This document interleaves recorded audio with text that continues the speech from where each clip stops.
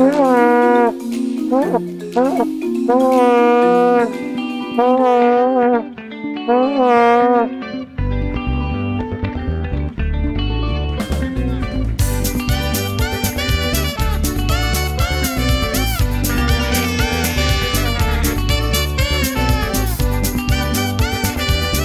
people are enjoying this. Many people are pitching up here to watch the game.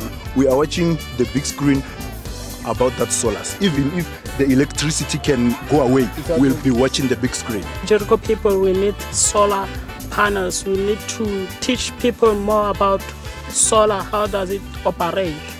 Tonight I'm gonna go to watch a Bafana Bafana. You sing this is all together.